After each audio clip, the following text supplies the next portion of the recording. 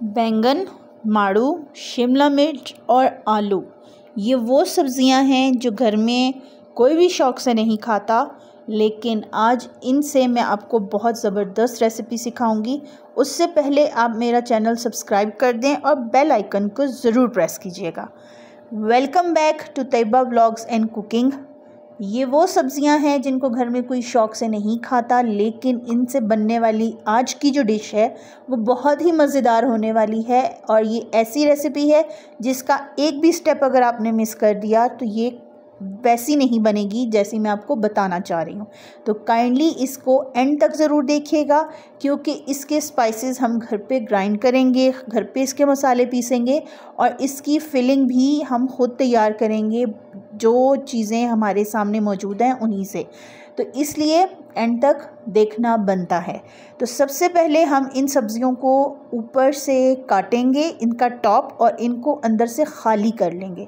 खाली इन a sense जिस तरह मैं आपको दिखा रही हूँ, इनका टॉप रिमूव करके हम इनको ऊपर से इनका हेड जो होता है वो सिर्फ़ रिमूव करेंगे और इसकी अंदर से फिलिंग सारी निकाल लेंगे।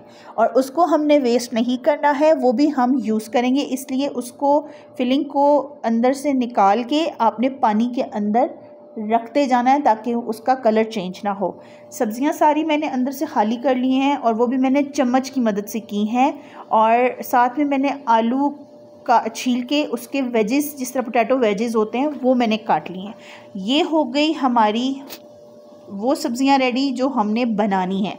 अब जो इसके अंदर मसाला यूज़ होगा, मैं वो आपको बता देती हूँ। साथ में मैंने लिख भी दी हैं।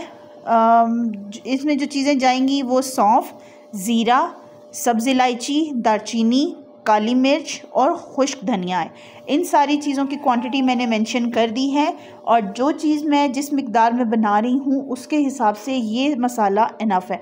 इसको पीस के मैंने एक बॉटल में डाल लिया है और यही मसाला हमारी फिलिंग में भी जाएगा और जो ग्रेवी हम इसकी बनाएँगे, उसमें भी यही मसाला जाएगा।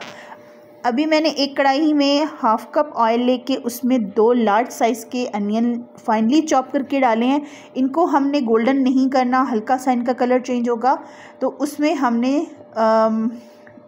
जिंजर गार्लिक पेस्ट ऐड करना है और साथ ही उसमें हम टोमेटो पेस्ट या टोमेटो प्यूरी जो आपके पास है आपने वो ऐड कर देनी है।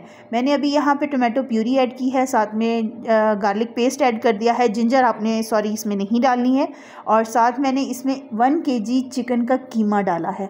इन सब्ज़ियों में जो फिलिंग जा, जाएगी वो बहुत ही यूनिक सी है। ये तुर्किश रेसिपी है लेबनीज़ और बहुत मज़े की बनेगी। और आप एक दफ़ा बनाएँ गारंटी से कहती हूँ कि ये आपके बच्चे फरमाइश करके बनवाएँगे। चिकन का कीमा ऐड करने के बाद नमक चिली फ्लेक्स हल्दी, और जो मसाला हमने अभी पीसा था, वो मसाला दो से तीन चम्मच आप इसमें डालेंगे अकॉर्डिंग टू द टेस्ट इलायची आपने उसमें ज़्यादा डालनी है। क्वांटिटी मैंने उसमें मेंशन कर दी है कि कितनी आप डालेंगे। हल्का सा चिकन को भूनने के बाद जो वेजिटेबल्स हमने बीच में से निकाली थी खुरच के जो उसमें से निकाल ली थी, उनको हमने चॉपर में चॉप करके वो वेजिटेबल्स भी इसमें ऐड करनी है। उनको दो से तीन मिनट पका के उसमें हमने वन एंड हाफ़ कप चावल हमने सोख करके रखे हुए थे, उनका पानी निकाल के वो ऐड करके उसको इतना पाँच मिनट तक हमने पकाना है ताकि जो पानी है उसके अंदर वो ड्राई हो जाए। फिर एक और पैन में हमने पतीला लेना है बड़ा सा, उसके अंदर दो जग पानी, टोमेटो पेस्ट का बड़ा कैन अगर आपके पास है तो वो आप डाल लीजिए, वरना एक जग टोमेटोस और एक छोटा कैन उसके अंदर टोमेटो पेस्ट का जाएगा एक चिकन क्यूब और साथ में आप वो जो मसाला हमने पीसा था, वो डालेंगे और उसको कवर करके पकने के लिए छोड़ देंगे। दूसरी तरफ़ हमारी फिलिंग ठंडी हो चुकी है। हम उसको वेजिटेबल्स के अंदर प्रेस करके भरेंगे। वेजिटेबल्स फिल हो गई। दूसरी तरफ़ हमारा जो टोमेटो पेस्ट का जो सूप बनाया था, वो रेडी हो गया। उसके अंदर हम इन वेजिटेबल्स को डाल के इसको हम कवर कर देंगे। सारी वेजिटेबल्स आपने इसके अंदर डिप कर देनी है। पानी इतना होना चाहिए कि वेजिटेबल्स उसके अंदर डिप हो जाएँ। बहुत ज़्यादा भी आपने नहीं रखना। पोटैटो वेजेस भी आप ही साथ ही डाल दीजिए। या अगर आप हाफ़ उनको वेजिटेबल्स को डन होने के बाद पोटैटोज़ डालना चाहते हैं तो वो आपकी मर्ज़ी है। यहाँ मरी में सब्ज़ी थोड़ी लेट गलती है, इसलिए मैंने सारी चीज़ें एक साथ डाल के 10 से 15 मिनट हाई फ्लेम पे उनको पकने के लिए छोड़ दिया था। इस स्टेज पे आके आपने चेक कर लेना है आपकी वेजिटेबल्स, खासकर माड़ू जो हैं वो आपके गल चुके हैं, क्योंकि बैंगन और शिमला मिर्च जल्दी गल जाते हैं।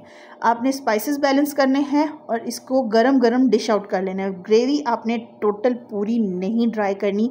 ग्रेवी आप जिस तरह आलू गोश्त में गाढ़ा सा एक शोरबा होता है, उस तरह से आपने रखनी है। यम सी रेसिपी रेडी है। रेसिपी अच्छी लगी हो तो लाइक करें शेयर करें सब्सक्राइब करें और हाँ बेल आइकन को दबाना मत भूलना। इंशाल्लाह नेक्स्ट रेसिपी में आपसे मुलाकात होगी। Till then take care recipe ज़रूर ट्राई कीजिएगा और मुझे कमेंट बॉक्स में भी बताइएगा कि आपको मेरी ये रेसिपी कैसी लगी।